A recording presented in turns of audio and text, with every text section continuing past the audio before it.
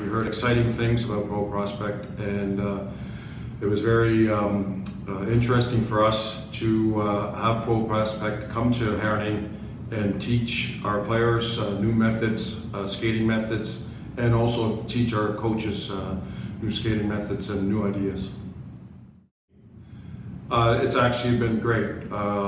The kids have interacted great with Ito, uh, the coach. Uh, that they already learned uh, a lot in these four days.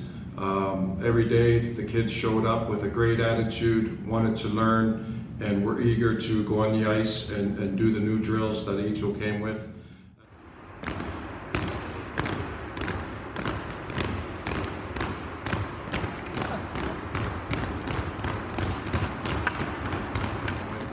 As coaches, we also learn very much um, about the details, the, the basic details about the skating and uh, the positioning of the skates. And uh, it was very interesting for us also to learn uh, new ideas and, and new drills.